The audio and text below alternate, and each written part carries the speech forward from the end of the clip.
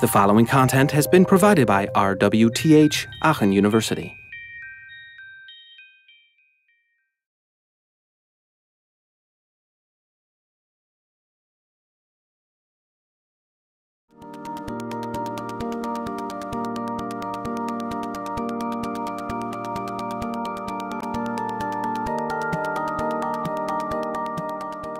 Ich habe mich schon als Schüler für die Ornithologie interessiert. Dabei war ich fasziniert als junger Mensch von Konrad Lorenz, der ein genialer Beobachter war, von Vogelverhalten hauptsächlich. Ich äh, habe selbst in meiner Heimat im Nördlinger Ries Brachvögel beobachtet. Ich habe aber relativ schnell gemerkt, dass Beobachten allein nicht für mich nicht ausreicht, weil man durch Beobachten allein nicht verstehen kann, wie ein Mechanismus, was hinter dem Verhalten steht. Ich bin ans Max-Planck-Institut für biologische Kybernetik in Tübingen gegangen und habe dort meine Diplom- und Doktorarbeit angefertigt. Und zwar mit Fliegenverhalten. Allerdings war immer so, die Liebe zu den Vögeln ist nie verloren gegangen und deshalb hatte ich die Gelegenheit wahrgenommen, dann als Postdoc, also nach der Doktorarbeit, ans California Institute of Technology zu gehen und dort mit Schleiereulen zu arbeiten. Da wollte ich ein Verhalten untersuchen, das man beschreiben kann mathematisch. Und deshalb beschäftigen wir uns mit Schalllokalisation zum Beispiel, weil man hier eine geometrische Beschreibung hat. Und die Eulen sind deshalb besonders geeignet, weil sie sind Spezialisten für die Jagd in der Nacht. Eigentlich äh, kann man drei Dinge herausheben, die sie auszeichnen. Zum einen ist es das Gehör. Die hören zum Beispiel zehnmal leisere Laute als wir hören. Dann sind es ihre nach vorne stehenden Augen. Damit können sie Tiefen sehen. Und dann ist es der leise Flug. Wenn wir jetzt zum Beispiel das Schalllokalisationssystem verstehen, dann können wir das, was wir herausgearbeitet haben, mit den Ingenieuren, zum Beispiel hier an der RWTH zusammen oder mit den Informatikern, anwenden in zum Beispiel einem schalllokalisierenden Roboter. Und das ist eines unserer Arbeitsgebiete. Wir untersuchen also Schalllokalisation, wir machen mit den Tieren Verhaltensversuche. Wir untersuchen aber auch, was im Gehirn passiert, weil im Gehirn die Mechanismen repräsentiert sind.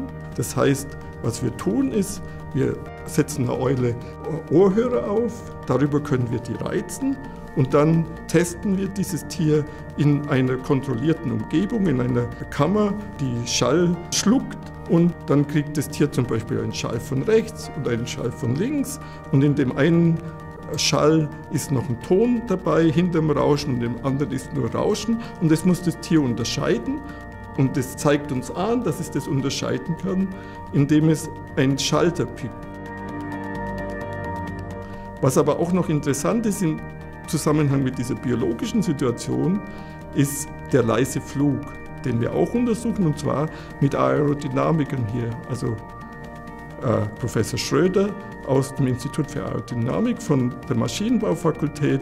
Und wir haben ein Arbeitsprogramm, in dem wir versuchen werden, einen, oder versuchen, einen neuen Tragflügel zu entwickeln, von dem wir hoffen, dass er weniger Geräusche produziert als der jetzige Tragflügel, und zwar nach dem Vorbild des Eulenflügels. Und deshalb haben wir zusammen mit äh, Kollegen aus äh, München und aus Göttingen eine Freiflugsituation aufgebaut, wo die Tiere zunächst einfach im Gleitflug, weil das die simpelste Situation ist, natürlich äh, so fliegen, dass sie von einem Kamerasystem aufgenommen werden können. Und da, so versuchen wir herauszubekommen, wie ist wirklich die Flügelform im natürlichen Flug. Und das können dann wieder die Aerodynamiker verwenden, um einen richtigen Flügel zu bauen.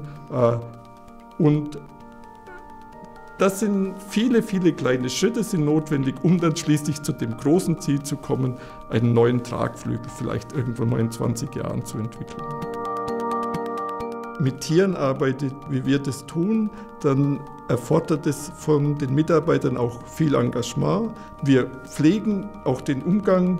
Wir feiern zum Beispiel miteinander, wenn wir Veröffentlichungen haben. Das sind sozusagen unsere Erfolge. Ich glaube, dass auch gute Forschung nur dann äh, funktionieren kann, wenn ein gutes zwischenmenschliches Klima in einem Institut herrscht und dafür versuche ich zu arbeiten.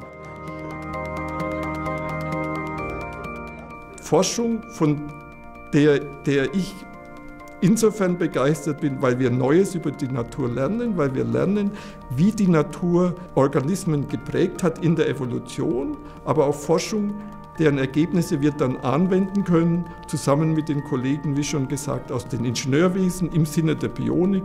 Und das ist das, was mich fasziniert und deshalb bin ich gern Wissenschaftler hier an der RWTH.